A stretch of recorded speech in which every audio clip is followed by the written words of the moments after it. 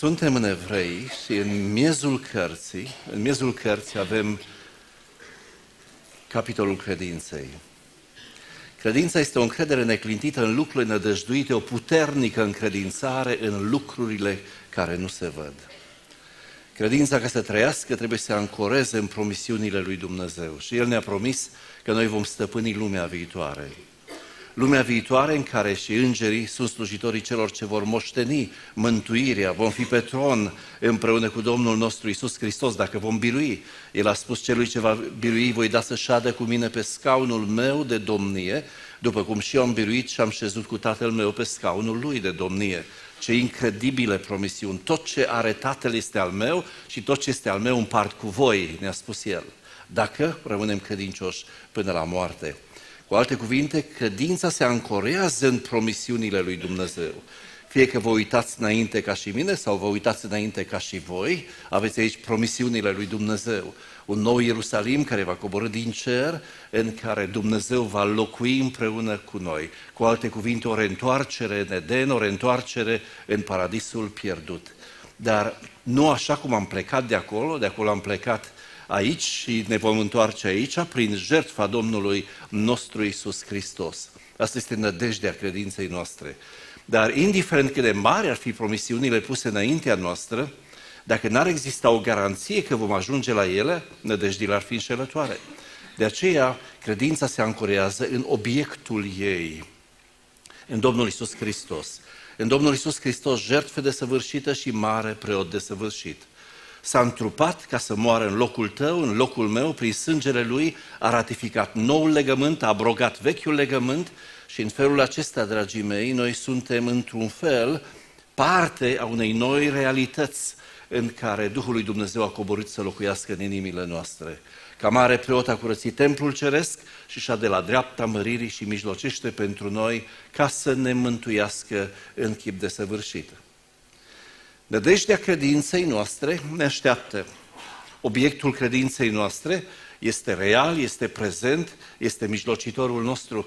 Dar noi suntem încă aici, pe teritoriile dușmanului. Ca să nu-ți pierzi credința, trebuie să o arunci, să o arunci în luptă.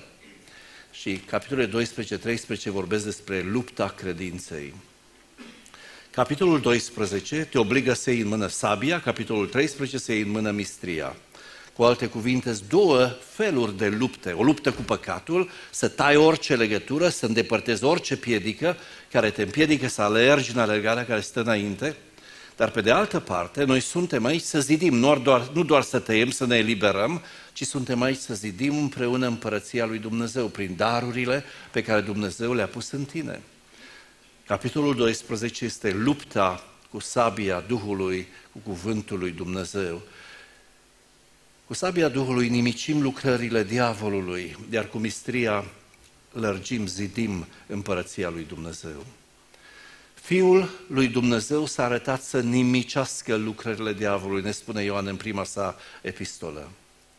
Iar dacă noi suntem oștenii lui, dacă noi suntem copiii lui, noi suntem mireasa lui, dacă noi suntem ajutorul lui potrivit, el nu poate lupta și noi să fim în vacanță. Nu se poate lucrul acesta. Trebuie să fim pe urmele Lui. Domnul Iisus însuși ne spune, cine nu este cu mine este împotriva mea, cine nu adună cu mine risipește. El a curățit templul ceresc. Nimeni n-a putut să o facă. Marele preot aronic n-a fost suficient. Jertfele animale n-au putut face lucrul acesta. A trebuit să întrupeze Fiul lui Dumnezeu să moară și cu sângele Lui să intre în Sfânta Sfintelor. Dar așa cum a făcut Dumnezeu întregul univers, lângă El ne-a lăsat și nou un pic de loc. Spuneam dimineața, dacă vrei să mănânci pâine caldă, trebuie să iei minunea lui Dumnezeu, bobul de greu, să-l așezi în pământ, să te îngrijești de el, să-l seceri pe urmă, să te duci la moară, să frămânți făina și să pui la cuptor și să te bucuri de pâinea pe care Dumnezeu ți-o dă în fiecare zi. Ai și tu partea ta. La fel este și în lupta spirituală. Domnul Isus face partea Lui, nouă ne lasă partea noastră. El a curățit templul ceresc, nouă ne-a lăsat să curățim templul trupului nostru de păcat. Dar mai este încă ceva, despre asta am vorbit data trecută, să curățim templul trupului Lui de păcat. Cu alte cuvinte, Scriptura ne cere să trăim în mod responsabil ca parte a comunității, a trupului lui Hristos. Versetul 12 din capitolul 12. Întăriți-vă dar mâinile obosite și genunchii slăbănogiți, croiți cără drepte cu picioarele voastre, pentru ca cel ce șchiopătează să nu se abată din cale, ci mai degrabă să fie vindecat. Urmăriți pacea cu toți și sfințirea, fără de care nimeni nu va vedea pe Domnul. Luați seama bine ca nimeni să nu se abată de la Harul lui Dumnezeu, pentru ca nu cumva să dea lăstar vreo rădăcină de amărăciune, să vă aducă tulburare și mulți să fie întinați de ea. Vegheați să nu fie între voi nimeni, curvar sau lumescaie sau, care pentru mâncare și avându dreptul de întâi născut. Știți că mai pe urmă, când a vrut să capete binecuvântarea, n-a fost primit. Pentru că măcar cu o cerea cu lacrimi, n-a putut să o schimbe. Sunt câteva imperative în text. Întrebarea care mi se ridică și pe care vă pun și dumneavoastră este cine sunt cei vizați de ele? Luați seama bine și vegheați. Cine trebuie să ia seama? Cine trebuie să vegheze ca trupul lui Hristos să fie curat? Poate veți zice, Păi nu de la întâmplare, odată pe an, votăm comitetul sau alegem slujitorii bisericii, treaba lor să facă lucrul acesta. De aia poartă sutană, de aceea stau toată ziua în mănăstiri și în biserici să fac. Noi suntem ocupați, avem treabă multă, dimineața până seara e de alergat. Noi cel puțin, Irisus, suntem o comunitate aproape de 700 de membri. Cine trebuie să ia bine seama? Cine trebuie să vegheze? Nu știu decât dacă învăț de la Scriptură. Dacă aș putea, v-aș da dumneavoastră sarcina asta. Eu am destulă treabă, mai am nu știu câte cărți care trebuie să le scriu, ochii mi se termină de la o zi la alta. N-am vreme pentru astfel de lucruri. Dacă puteți, nici nu-mi bateți la ușă în următorii ani. Dar ascultați ce spune Scriptura. Luați seama, dar, fraților, fraților, cine să fie ăștia? Dacă eu sunt unul, tu ești celălalt, da? Ca nici unul dintre voi să n-aibă o inimă rea și necredincioasă care să vă desparte Dumnezeul cel viu, ci îndemnați-vă unii pe alții. Eu sunt unii. Cine sunt alții? Am dat mâna unii cu alții, da? Unii cu alții, cu alte cuvinte, absolut nimeni nu-i lăsat pe din afară. Îndemnați-vă unii pe alții în fiecare zi, câtă vreme se zice astăzi, pentru ca niciunul din voi să nu se împietrească prin înșelăciunea păcatului. Asta este partea aceea cu sabia. Dar uitați-vă la partea cu mistria, cu alte cuvinte, nici de la una, nici de la cealaltă, nu-i nimeni scutit. Capitolul 10, versetele 24-25. Să veghem unii asupra altora, ca să ne îndemnăm la dragoste și la fapte bune, să nu părăsim adunarea noastră cum a unii obicei, ci să ne îndemnăm unii pe alții și cu atât mai mult cu cât vedeți că ziua se apropie. Dar de ce să o facem? Pentru că pericolul este real, căci dacă păcătuim cu voia, după ce am primit cunoștința adevărului, nu mai rămâne nicio jertfă pentru păcate, ci doar așteptarea judecății, a focului care va mistui pe cei răzvrătiți. Repet întrebarea. Cine trebuie să ia seama bine? Cine trebuie să vegheze? Cine trebuie să implice? Ridicam în două mâinile, dragii mei, pentru că n-am cum să scap din fața acestor imperative. Eu. Nu spun tu, fiecare să spunem în dreptul nostru, eu. Fiul lui Dumnezeu s-a arătat ca să nimicească lucrările diavolului. Dar el este doar capul. Spuneți-mi, ce-ar face capul meu fără mâinile mele, fără picioarele mele, fără mădularele trupului? Noi suntem trupul lui. Eu și tu suntem mădulare ale trupului lui. Dacă Fiul lui Dumnezeu s-a arătat să nimicească lucrările diavolului, mâna, piciorul, ochiul, tot ce avem, ar trebui să fim implicați alături de El în această luptă. Dacă El este Domnul Domnilor și Împăratul Împăraților, căpetenia și desăvârșirea mântuirii noastre, dragii mei, și dacă noi suntem ostași, niciun ostaș nu se încurcă cu treburile vieții dacă vrea să placă celui ce l-a scris la oaste. El nu poate lupta pe un front și noi să fim ocupați pe un cu totul alt front. Luca, capitolul 11, recitesc versetul 23. Cine nu este cu mine este împotriva mea, cine nu adună cu mine, risipește. Cu alte cuvinte, n-ai nicio altă șansă, ori cu el, ori fără el. Ori cu el, ori fără el. Și acum știu că toate imperativele mă vizează pe mine. Dați-mi voie să încep cu primul. Luați seama bine, dar ca nimeni să nu se abată de la harul lui Dumnezeu. Nimeni să nu se abată de la harul lui Dumnezeu. Harul îl tălmăcim cu un dar nemeritat. Când vorbești de dar, te gândești la ceva bun, ceva de dorit, ceva ce primești de Crăciun, cu fundiță și um, mai ales dacă ai și spus la Moș Crăciun ce te interesează. Dar în cazul acesta este un dar puțin mai altfel, pentru că ascultați ce spune textul. Urmăriți pacea cu toți și sfințirea, fără de care nimeni nu va vedea pe Dumnezeu. Versetul 14, imediat versetul 15, luați seama bine ca nimeni să nu se abată de la harul lui Dumnezeu, pentru ca nu cumva să dea lăstar vreo rădăcină de amărăciune, să vă aducă tulburare și mulți să fie întinați de ea. Dacă harul este un dar dorit, de ce m-aș abate de la harul lui Dumnezeu?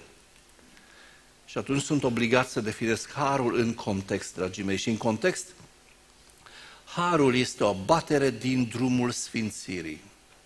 Urmăriți pacea cu toți și sfințirea. Sfințirea este cioplirea mea într chipul și asemănarea Fiului lui Dumnezeu. Pe aceea pe care i-a cunoscut mai dinainte, i-a și hotărât mai dinainte să fie asemenea chipului Fiului Său, pentru ca El să fie cel întâi născut dintre mai mulți frați.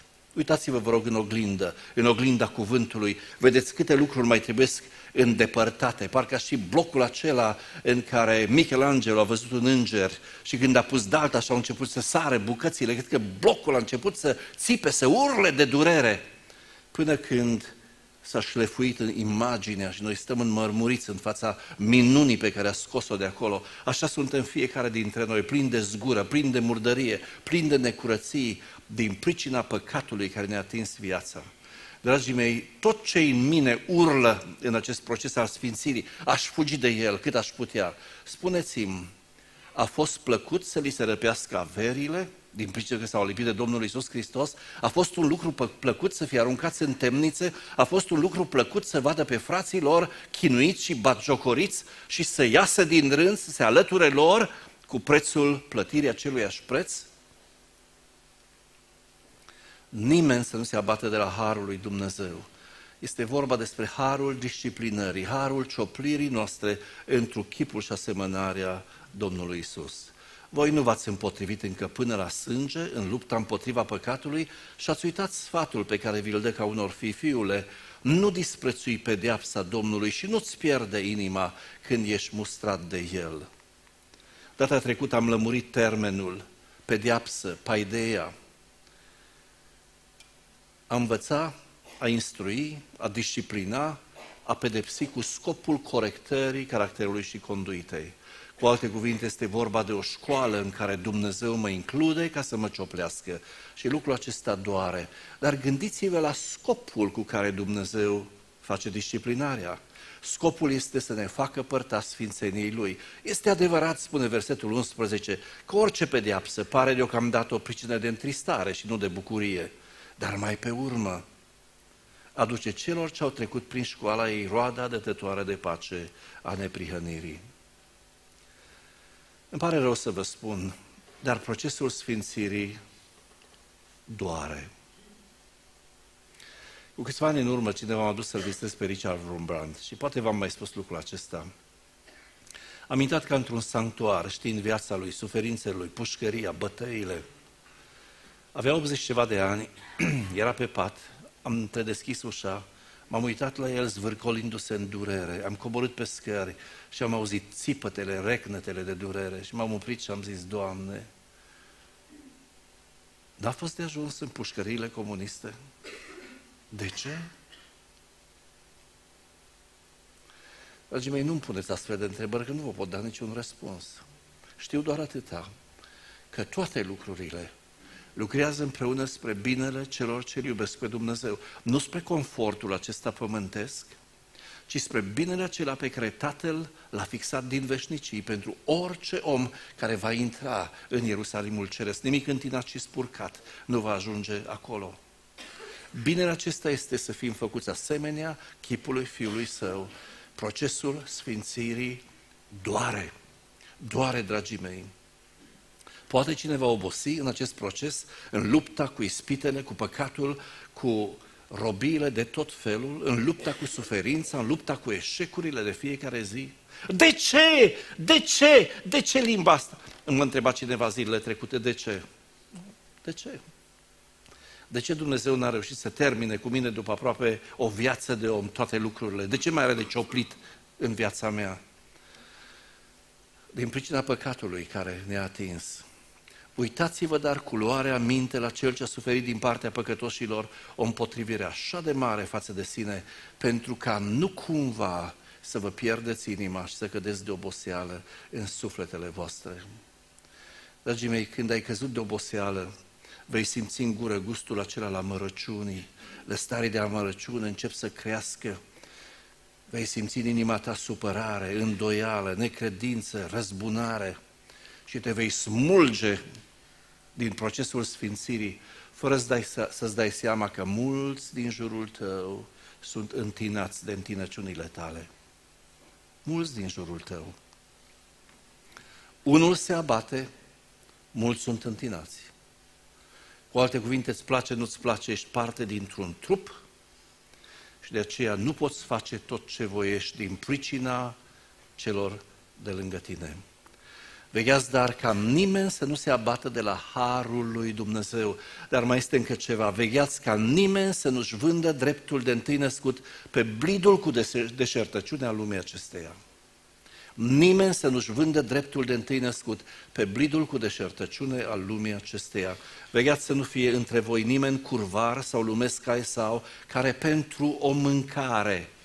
Spune și pentru ce alergați de dimineața până seara pentru o mâncare, da? O mâncare care înseamnă 100 de dolari să faci un plin la rezervor, care înseamnă 300 de dolari să plătești gazul pe luna ianuarie și februarie, că a fost fric, înseamnă nu știu ce și așa merg lucrurile încât să alergi din ce în ce mai mult, să n-ai vreme să umbli după neluci. Și atunci pentru un blid de linte îți vinzi dreptul de întâi născut. Dar ce e acela drept de întâi născut? În familia evreilor, eu sunt al treilea în familie, așa că n-am probleme cu treaba asta. Fratele meu, el se ducă greul, nu eu. Dar în, în familiile evreilor, întâiul născut primea o porție dublă din moștenire. Dacă tata avea trei băieți, împărțea averea la patru, primul primea două părți, restul își primeau fiecare partea. Dar de ce favorul acesta? Pentru că viața e cum e. Și s-ar, s-ar putea ca unul dintre frați să ajungă la ananghie să falimenteze în afaceri, să trebuiască să-și vândă averile. Fratele mai mare, cel care avea dreptul și responsabilitatea de întâi născut, mergea și răscumpăra, mântuia pe fratele său din situația în care se afla. Dar dacă acesta e dreptul de întâi născut, astăzi, pe plan spiritual, cine dintre noi are acest drept? Dacă nu ești întâiul născut și n-ai primit porția dublă, atunci ducă-se care pe unde vrea. Nu mă interesează pe mine ce se întâmplă cu fratele meu. Dragii mei, dreptul de întâi născut este harul și responsabilitatea implicării alături de Dumnezeu în mântuirea celor de lângă mine, în mântuirea aproape lui meu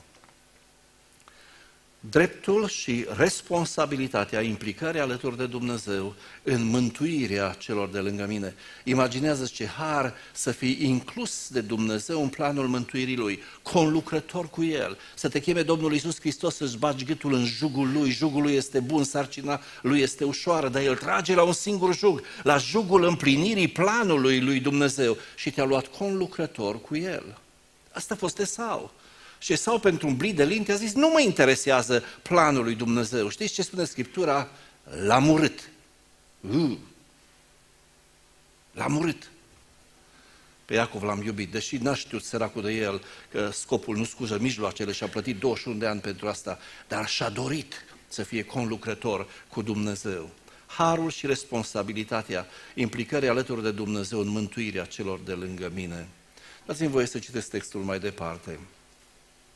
Voi nu v-ați apropiat de un munte care se putea atinge și care era cuprins de foc, nici de negură, nici de întuneric, nici de furtună, nici de sunetul de trâmbiță, nici de glasul care vorbea în așa fel încât cei ce l-au auzit au cerut să nu li se mai vorbească, pentru că nu puteau să sufere porunca aceasta chiar un dobitoc, dacă se va atinge de munte, să fie ucis cu pietre sau străpuns cu săgeata.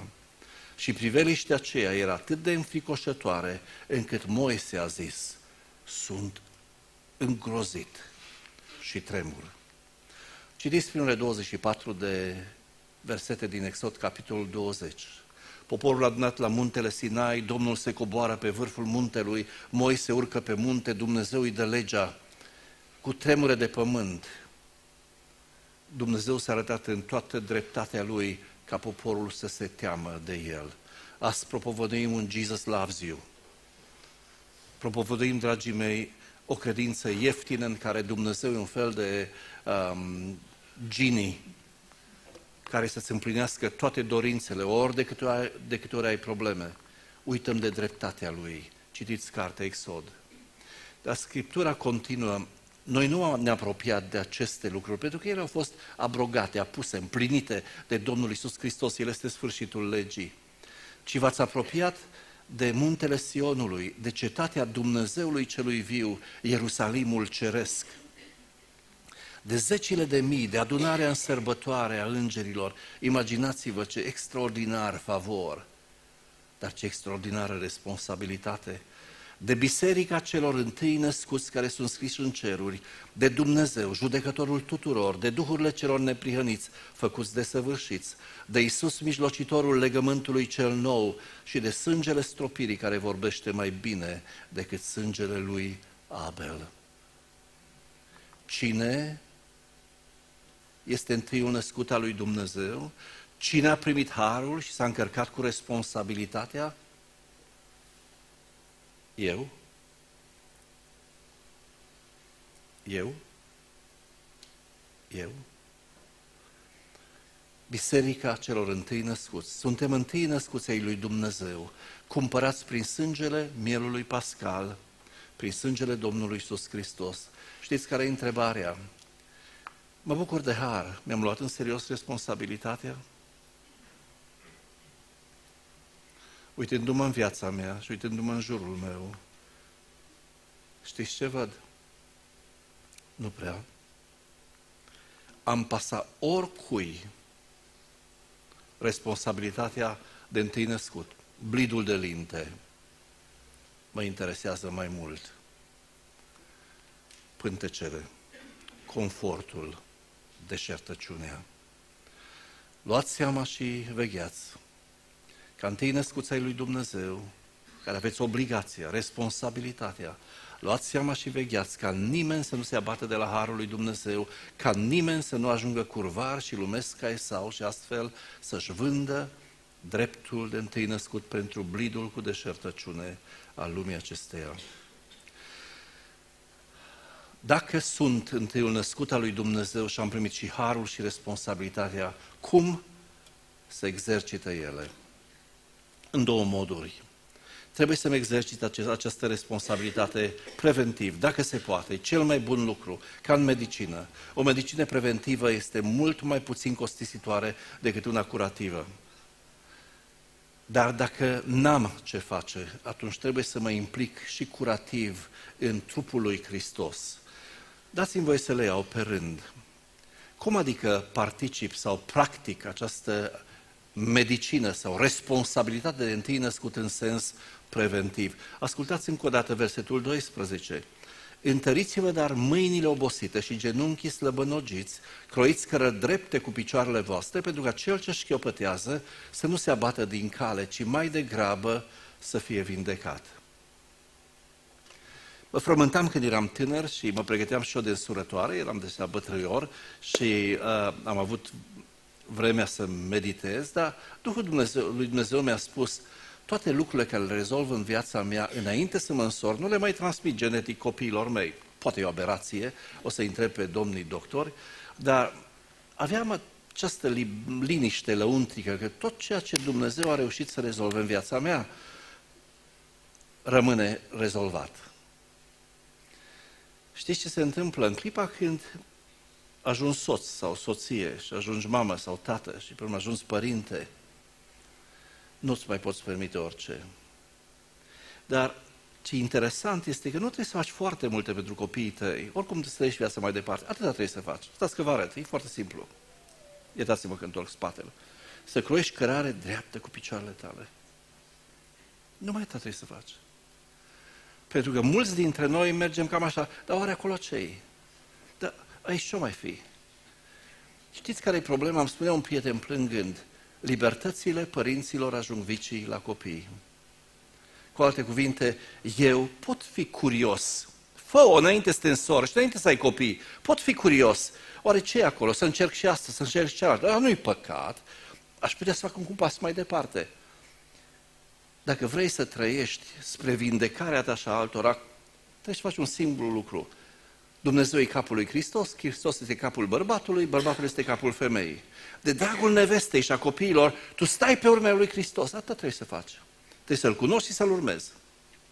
Nimic mai mult.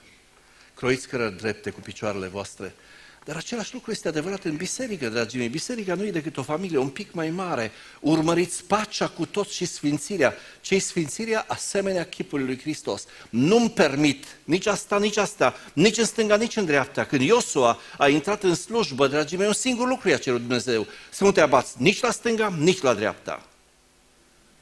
Împlinește întru totul să umblă întru totul pe cărarea pe care Dumnezeu ți-a dat-o. Urmăriți pacea cu toți și sfințirea, fără de care nimeni nu va vedea pe Dumnezeu.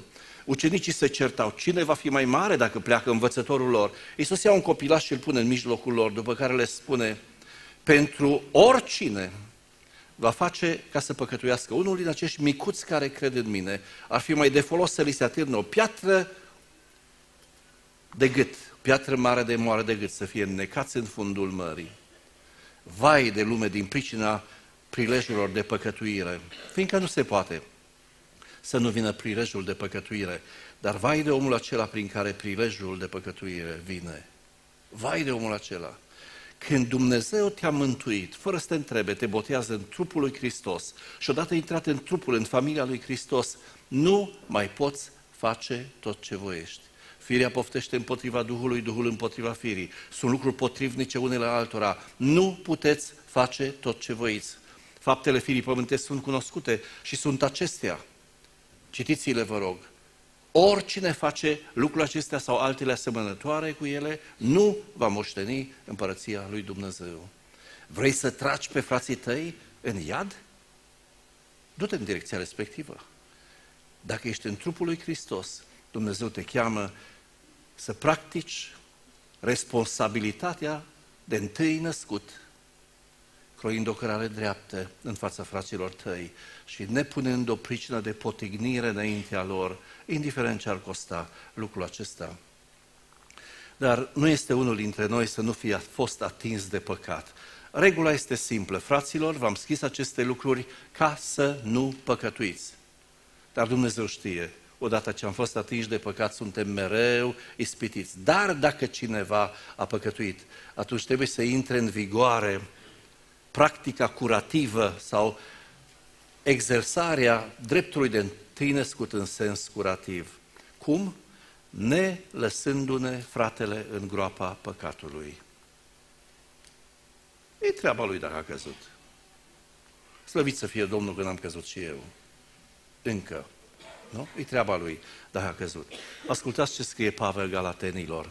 Imediat după ce a vorbit despre faptele firii și roada Duhului, despre stignirea firii pământești, el spune fraților, chiar dacă un om ar cădea deodată în vreo greșeală, voi care sunteți duhovnicești să ridicați cu Duhul blândeții și ia seama la tine însuți ca să nu fii spitit și tu. Slăvit să fie Domnul, este vorba despre cei duhovnicești, eu nu sunt unul dintre ei.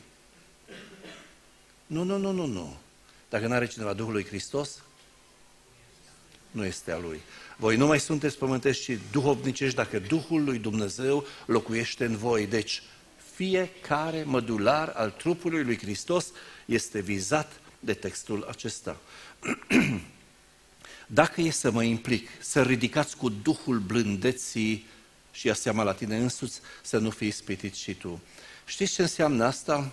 Trebuie să urmezi pilda lui Dumnezeu ca un copil prea iubit, că Dumnezeu a croit o cărare înaintea noastră. Dumnezeu ne pedepsește pentru binele nostru. Niciodată nu te poți implica în viața fratelui tău ca să-l arăți cu degetul, să-l calci în picioare, ci trebuie să te implici pentru binele lui, să-l faci părtaș sfințeniei lui Dumnezeu. Cu alte cuvinte, toate intervențiile noastre în baza dreptului și a responsabilității de întâi născut este, sunt pentru ridicare, pentru vindecare, pentru sfințire, pentru redresarea umblării noastre. Este adevărat că orice pedeapsă deocamdată pare o pricină de întristare și nu de bucurie, dar mai pe urmă aduce celor ce trec prin școala ei roada dătătoare de pace a neprihănirii. Vă spun foarte sincer, mă bucur mai mult când mă lăudați decât atunci când mă criticați. Mai este cineva ca mine? Toți suntem la fel. Ați cântat super, da, știți, acolo nota aceea, nu fost imediat. Un, uh, uh, toți suntem la gime la fel. Sentimentul de vinovăție nu motivează, nu motivează pe nimeni. Cu toate acestea, când fratele meu îmi deschide ușa, am învățat să înghit în sec, să-l ascult până la capăt, să-i mulțumesc frumos, să iau cei buni, să las cei rău, să mă duc mai departe. Și eu cred că aici e partea grea e mai greu să stai în relații, să te lași corectat de frații tăi decât dacă n-ar fi pe aproape. Când ne implicăm în viața fraților noștri, sunt cel puțin trei paliere pe care trebuie să veghem să facem lucrul acesta. În primul rând, disciplinarea trebuie făcută de dragul celui în cauză. Noi spunem acelui vinovat, pentru că aici textul vorbește strict despre păcat în al doilea rând de dragul comunității și în al treilea rând de dragul și spre slava lui Hristos. În Corint era o mulțime de păcate, de la certuri, primele patru capitole, curvie, capitolul 5, judecăți, capitolul 6, familii în derivă, mândrie și idolatrie, capitolul 8 și 9, în capitolul 10, dragii mei, închinare la idol și cina Domnului transformată în beție capitolul 15, necredință în învierea morților, o biserică care, în care clocea păcatul.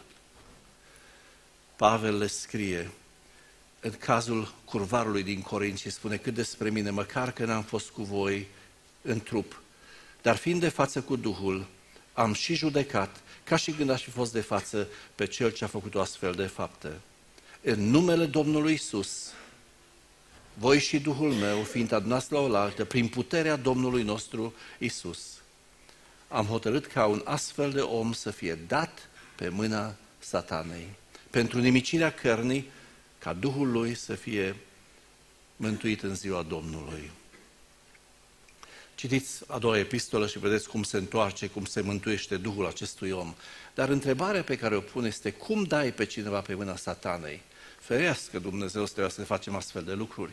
Ori eu cred că tocmai aici se aplică dreptul și responsabilitatea de întâi născut pe care ai primit-o și tu și eu intrând în biserica lui Hristos. Dați-mi voie să citesc un singur text, să las Biblia să lămurească lucrurile.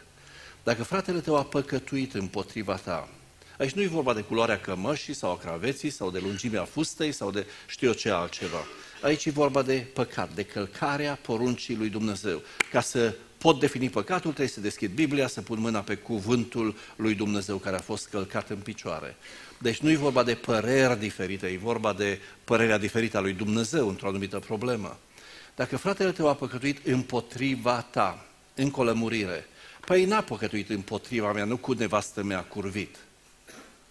Dragii mei, orice păcat care ajunge la cunoștința mea este împotriva mea. Nu uitați, puțin a luat dos pește toată plămădeala. Duhul curviei trece peste, asupra mea și asupra copiilor mei. Deci dacă fratele tău a păcătuit împotriva ta, du-te și mustră-l între tine și el singur. Nu poți trimite pe altcineva, nu-l poți bârfi la colțul străzilor. Tu trebuie să te ridici în picioare și în toată tăcerea și cu atenție, ca și Nicodim noaptea, să nu știe nimeni ce faci. Te duci la fratele tău, dacă te ascultă, ai câștigat pe fratele tău. Conform Scripturii, păcatul se rezolvă în cercul cel mai strâmt posibil. Dacă m-aș duce la domnul chirurg cu un furuncul și ar lua toporul să-mi taie mâna, nu, nu, nu, nu. În cel mai strâmt cerc posibil. Dacă nu te ascultă, atunci lărgești cercul. Ia cu tine unul sau doi inși pentru ca orice vorbă să fie sprijinită pe mărturia doi sau trei martori. Dacă nu vrea să asculte de el, spune-l bisericii. Și biserica ce face? Biserica nu dă afară oameni, biserica include oameni, mântuiește oameni. Biserica îi spune ce să facă să vină din moarte la viață. Dar dacă nu vrea să asculte de biserică, dragii mei, vreau să vă spun, dacă ăsta este perimetrul bisericii, el este aici, s-a autoexclus, neascultând de biserică, refuzând resursele lui Dumnezeu până la capăt, să fie pentru tine ca un păgân și ca un vameș. Știți care e problema noastră? Nu-i nimic, mă dau afară de la Elis, mă mut la Mănăștur. Mă dau afară din Cluj, mă duc la Brașov. Mă dau afară din Brașov, mă duc la București. Sau trec Balta până în Statele Unite sau mă duc în Australia. Poți să mergi unde vrei, pentru că Scriptura continuă. Adevărat vă spun că orice veți lega pe pământ va fi legat în cer, orice veți dezlega pe pământ va fi dezlegat în cer. Vă mai spun iarăși că acolo unde, acolo unde doi sau trei dintre voi se învoiesc pe pământ să ceară un lucru oarecare, le va fi dat de Tatăl meu care este în ceruri, căci acolo unde sunt doi sau trei adunați în numele meu, sunt și eu în mijlocul lor. Dacă Hristos este prezent într-un astfel de proces, spunem unde te muți, unde îți duci miletul membral, ce vei face. Lucrurile nu se rezolvă așa, lucrurile așa se rezolvă, pe verticală. Sunt și eu în mijlocul lor. Atunci Petru l-a luat deoparte și i-a zis, Doamne, de câte ori să iert pe fratele meu când va păcătui împotriva mea? Până la șapte ori? Iisus i-a zis, eu nu-ți zic până la șapte ori, ci până la șaptezeci de ori câte șapte pe zi. Dacă e cazul. Cu alte cuvinte, dreptul de întâi născut nu are termen de valabilitate. Până la șapte ori, gata. Dreptul de întâi născut este câtă vreme se zice astăzi. Trebuie să veghem unii asupra altora, să nu ne împietrească păcatul. Deci, în primul rând, implicarea, exersarea acestei responsabilități se face de dragul celui căzut în păcat. Nu-ți lăsa fratele în groapa păcatului. Dar în al doilea rând, de ce să nu-l las? Pentru că nu poți trage pământul peste el, să-i pui cruce și să-i cânți prohodul și ai terminat ci păcatul acela, fiind fratele tău, va trece asupra ta, și asupra familiei tale și asupra copiilor tăi. Lucrarea trebuie făcută din pricina și de dragul comunității. Nu vă lăudați bine. Nu știți că puțin au luat dos pește toată plămădeala? Măturați aluatul cel vechi, ca să fiți o plămădeală nouă, cum și sunteți, fără aluat. Fără aluat. Și în al treilea și nu în ultimul rând, de dragul lui Hristos. Am aflat deja dimineață când sunt Paștele, dar nu mă interesa data. Mă interesa, dragii mei, focalizarea. Căci Hristos, Paștele noastre, a fost jertfit. Nu știu dacă știți ce înseamnă asta. Veniți înapoi în Exod. Când Paștele a fost jertfit, ei au ieșit din Egipt, Dumnezeu i-a oprit în drum și a zis, stați să vă spun ceva. Toți întâi născuții sunt ai mei. I-am cumpărat cu sânge. Dacă Hristos Paștele noastre a fost jertfit, înseamnă că noi toți, apropiindu-ne de Biserica Întâilor Născuți, suntem ai Lui. Dacă suntem ai Lui, suntem în slujba Lui și de aceea, dragii mei, nici unul nu putem pasa altora, fiecare dreptul nostru, trebuie să ne împlinim datoria aceasta Hristos Paștele noastre a fost jertfit. Să prăznuim dar praznicul nu cu un aluat vechi, nici cu un aluat de răutate și viclănie, ci cu azimile curăției și ale adevărului. Dacă El este capul, noi suntem trupul, dacă noi suntem templul și El este Dumnezeul nostru, spuneți-mi, nu așa s-ar simți El bine între noi? Nu atunci sunt cu adevărat cel care am fost chemat și cumpărat să fiu? Nu știți că trupul vostru este templul Duhului Sfânt și că voi nu sunteți ai voștri? Ați fost cumpărați cu un preț. Proslăviți dar pe Dumnezeu în trupul și în Duhul vostru, care sunt ale lui Hristos. Hristos, Paștele noastre, a fost jertfit. Noi suntem întâi născuți ai lui Dumnezeu. Putem oare să ne implicăm alături de El în curățirea templului trupului său? Dragii mei, eu nu vă cunosc pe toți, nici nu vă văd pe toți. Dacă vreți să vă văd, trebuie să veniți aproape de mine. Dar cunosc pe cei care sunt în jurul meu, pe cei din casa mea, pe cei din grupul nostru. Și spre rușinea mea o spun, de multe ori nici de ei n-am timp cât aș dori. Dumnezeu nu va mântui nimic din deșertăciunea după care alergăm. Toate vor arde cu trostet. Omul a fost creat pentru veșnicie. Se merită să faci timp pentru el. 1 Ioan, capitolul 3, versetul 8. Ca să ne mântuiască pe noi oamenii, dragii mei, nu universul acesta material, oricum va arde și cu un singur cuvânt Dumnezeu face cerul nou și un pământ nou. Fiul lui Dumnezeu s-a întrupat ca să nimicească lucrările diavolului. El este Domnul și împăratul meu și eu sunt ostaș în oastea lui și niciun ostaș nu se încurcă cu treburile vieții dacă vrea să placă celui ce l-a scris la oaste. Și vreau să vă spun, după cuvintele lui, n-am alternativă. Cine nu-i cu mine împotriva mea, cine nu adună cu mine, risipește. Așadar, frații mei, luați seama și vegheați ca nimeni să nu se abate de la Harul lui Dumnezeu. Luați dar 1 Petru, capitolul 3, și tot astfel nevestelor, fiți supuse și voi bărbaților voștri, ca dacă unii s-au abătut de la Harul lui Dumnezeu, nu ascultă cuvântul, trageți-l înapoi. Nu așa? De dimineața până seara? Ca o strașii de care picură prin purtarea nevestelor lor. Când vă vor vedea traiul vostru curat și în temere. Ăsta e rolul și rostul nostru nimeni să nu se abată de la Harul lui Dumnezeu, nimeni să nu ajungă curvar sau lumesc ca Esau și astfel pentru blidul cu deșertăciunea lumii aceștia să-și vândă dreptul și responsabilitatea de întâi născut.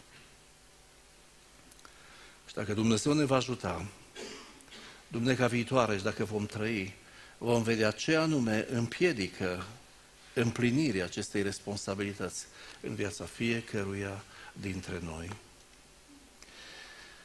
Dragii mei, știu că ați venit împovorați, nu ca să vă mai pun eu pover pe umăr, și eu aș fi fugit cât aș fi putut de predica asta.